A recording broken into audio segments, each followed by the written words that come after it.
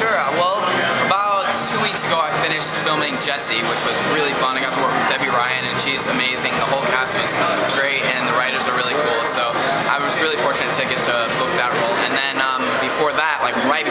actually filming at the same time was Lab Rats.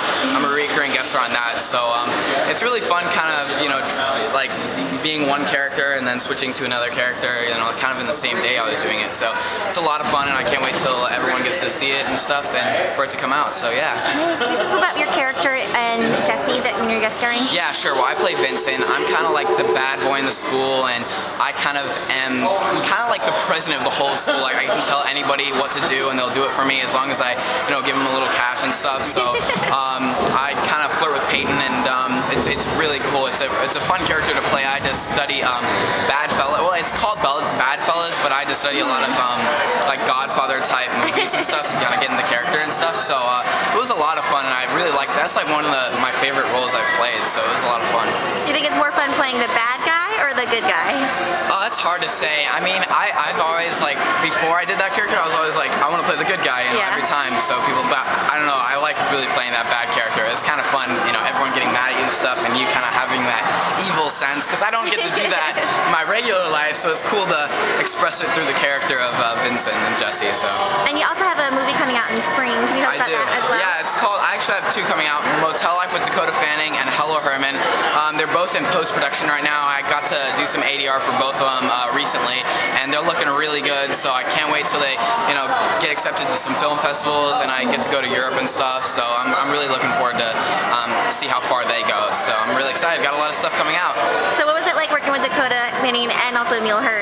Yeah, they're great. I mean, Emile and Stephen and, and, and Dakota, they're amazing actors and, and actresses. I got to uh, study with uh, Stephen a lot. He got to kind of tell me a little bit about the character since I was playing the younger version of him. And he's a really great guy. They're all so nice. And um, I was so fortunate to get to, you know, work with Dakota and all of them. Like, they're really great actors and stuff. So it's, it was fun.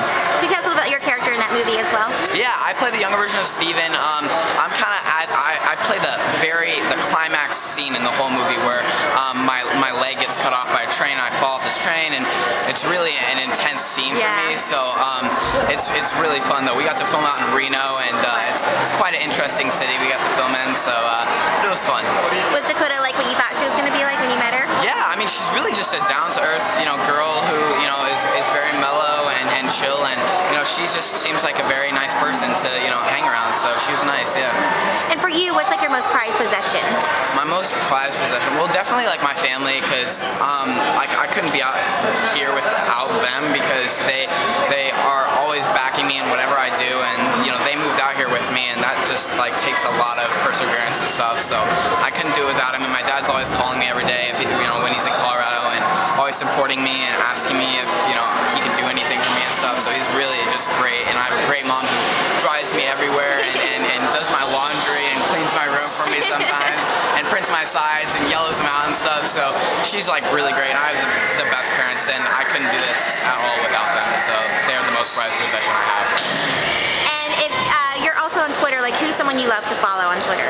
Uh, well, I mean, everyone everyone follows Justin Bieber. I like. I mean, that's like the guy I kind of like look on his page occasionally. I look, uh, you know, Debby's. I look on a lot, uh, and um, oh, who's, who's a good one that I follow? Will, Will Ferrell. A lot of there's a lot of great people I follow Twitter. I love, you know, seeing what people are doing and stuff, so it's a great way of communicating.